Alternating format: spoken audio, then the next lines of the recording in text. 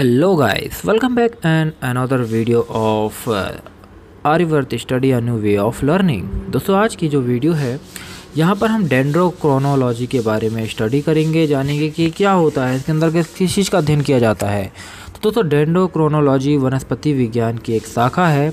इसके अंतर्गत जो पौधे होते हैं उनकी एज की स्टडी की जाती है कि पौधे कितनी एज के हैं। जैसे कि आपने वार्षिक वलय के बारे में सुना होगा या जानते होंगे कि वार्षिक वलय के आधार पर पौधों के उम्र का पता लगाया जा सकता है। तो ये सारी चीज़ों की जो स्टडी है, वो डेंड्रोक्रोनोलॉजी के अंतर्गत ही होती है।